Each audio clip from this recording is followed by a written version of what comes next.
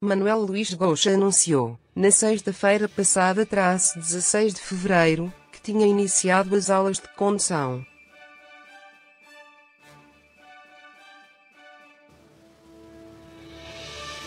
Sem carta, por nunca ter tido paciência para todo o processo, o marido de Rui Oliveira acabou por não concluir a formação que lhe permite conduzir, tendo retomado agora essa missão.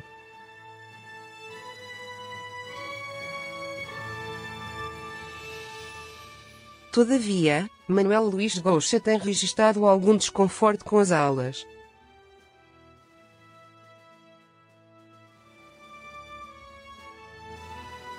Foi tão dramático.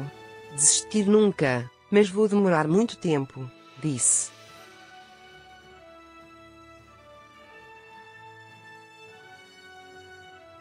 Estou com dores no joelho. Talvez tenha de desistir por causa do joelho, contou na sexta-feira.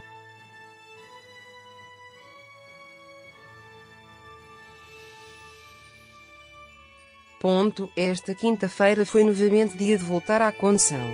Com Maria Cerqueira Gomes a registrar o momento em que Manuel Luís Goucha abandonava as instalações de Caluz de Baixo, o apresentador acabou por contar que vou para a aula de condução.